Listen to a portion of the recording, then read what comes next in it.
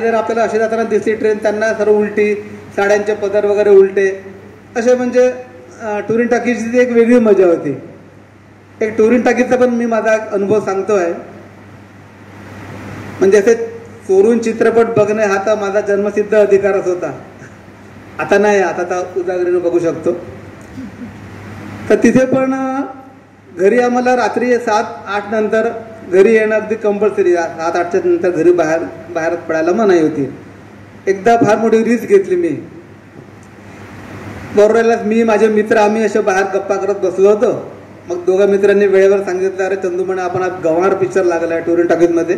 राजेंद्र कुमार वैजयंती मला वगैरे. खूप सुंदर पिक्चर आपण बघायला जाऊ. सेकंड शो अरे नाही इतका उशिरा नाही अरे घरी ओरडतील म्हटलं. अरे चालेल का तू मुळा घाबरते असा तसा काय होते आपण काय पण सांगू म्हणे वगैरे. शेवटी मी हिंमत केली आम्ही नवचा पिक्चर बघायला गेलो.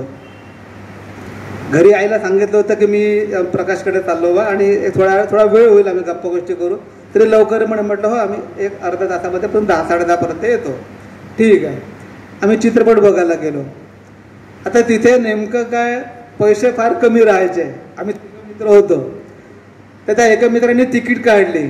तिकीट काढली अर्थात ती थर्ड क्लासची थर्ड क्लास म्हणजे तेव्हा जमिनीवर बसून पिक्चर पाहायचे होते. एक रुपयेवाले वगैरे मग बेंच नंतर मग असे ते होते आम्ही जमिनीवर बसून पिक्चर पाहायचं म्हणे आपल्याला. मला लाज वाटायची होती. म्हटलं जमिनीवर बसून पिक्चर पाहतं. म्हटलं तुम्ही जा मग मी नंतर येतो. तिथे एकच सिंगल मशीन असायची.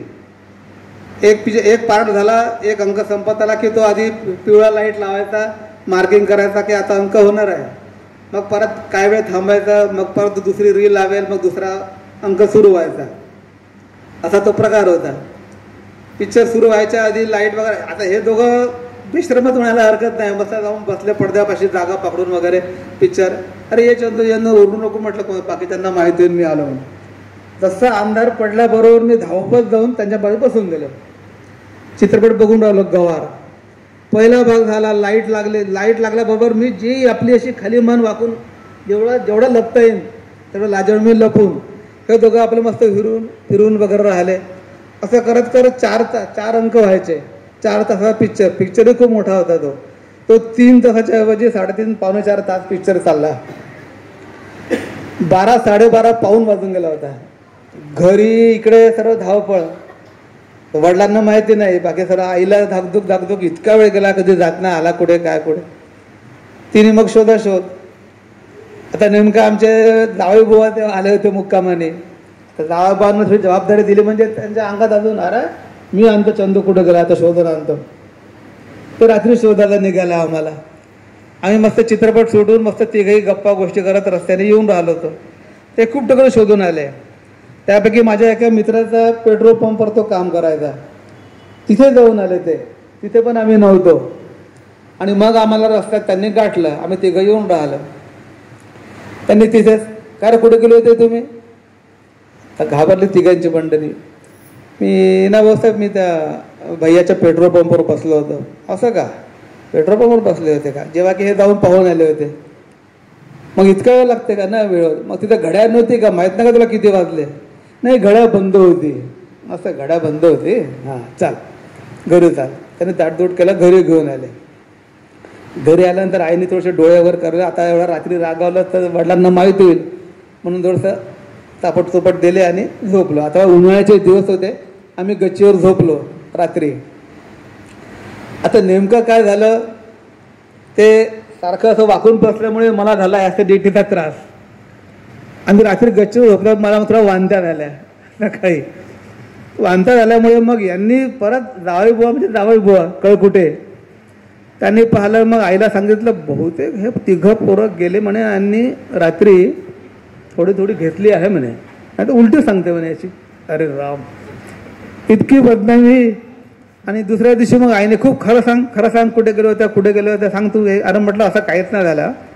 मग शेवटी मोठ्या मुश्किल सांगितलं म्हटलं मी भैया आणि प्रकाश आम्ही पिक्चर बघायला गेलो होतो म्हटलं तिथे उशीर झाला. आता या मित्रांना वाटलं रात्री झालं गेलं विसरलं असेल. दुसऱ्या प्रमाणे सकाळी पुन्हा ते माझ्या घरी आले. आणि नेहमीप्रमाणे तनु चंदू बाहेर चाल. आईने रागावलं होतं. मी त्या दोघांनी म्हणून राहिलो अरे प्रकाश काल आपण सिनेमा पाहायला गेलो होतो ना म्हटलं. नाही म्हणे. नाही आपण कडे गेलो होतो. तर खरा खरं सांग म्हटलं. हो ना आपण भैजा पेट्रोल पंपावर होतो म्हणे. म्हणते भया तर पेट्रोल पंप गेला आणि त्याची चित्रपटा गेला सर्व माहीत झालं म्हटलं काल. आणि मला म्हटलं हे भलता संशय घेत आहे. म्हणे मध्ये नमस्कार टाकू नाही असं काही झालं नाही. म्हणे आम्ही बसलो. चंदू फक्त शेवटपर्यंत काही उठला नव्हता. पण हे ही गोष्ट मग आमच्या वार्डामध्ये इतकी पसरली की जो तो मग हा चंदू काल असता म्हणजे चित्रपट बघून मला इतकी बदनामी सुद्धा सहन करावी लागली.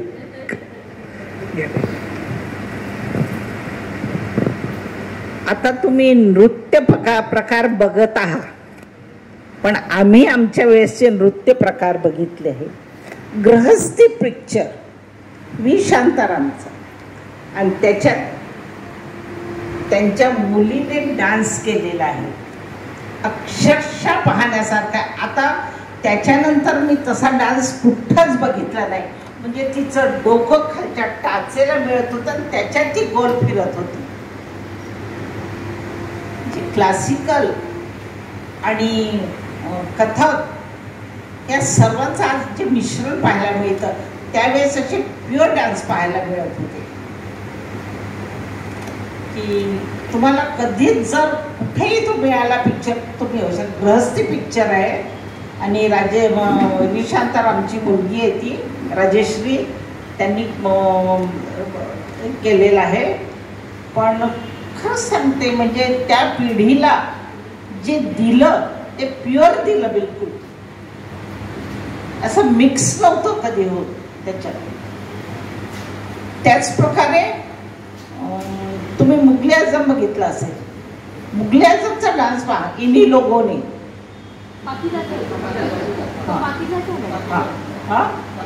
पाखीच्या मधला सॉरी तर तो कसा वेगळा आहे? ऍक्टिंग ही तुम्ही त्यावेळेसची बघा कसा फरक जाणवतो? आजकालची पिढी नवीन पिक्चर बघतात आणि त्याच्यातून म्हणजे जातात. आणि डायरेक्शन जे आहे ते किती वेगळं होतं तुम्ही बघून घ्या. म्हणजे सिरियसनेस पिक्चरची सुविध स्टोरी आणि अगदी हावभाव ते सर्व होते. आणखीन एक यांनी सांगितलं लव्ह स्टोरी किती असली तरी कोणाकोणाला हात लावत नव्हतं. लांबूनच. आणि त्याच्यामुळं काय होतं?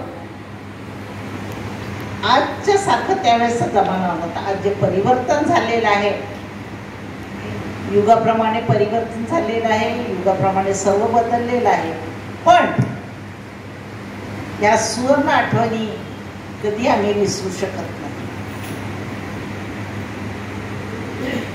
आणि खरोखर सांगते आम्हा लोकांना म्हणजे जो आनंद दिलेला आहे त्याच्यापेक्षा जास्त आनंद तुम्हाला मिळत असेल मोबाईलने. पण आम्हाला जे मनोरंजन मिळालं त्याची तुम्ही कल्पनाच नाही करू शकत. आणि त्या आठवणी खरं सांगतो आम्हाला पॉझिटिव्ह थिंकिंग शिकवतात आजही. कसं करत होते तसं जे मेन कमल. कसा? होता एक त्याच्या अगोदर त्याच्यानंतर मग त्या त्या कसा करायचा असतो याची देखील भूमिका म्हणजे फक्त पिक्चरच नव्हते.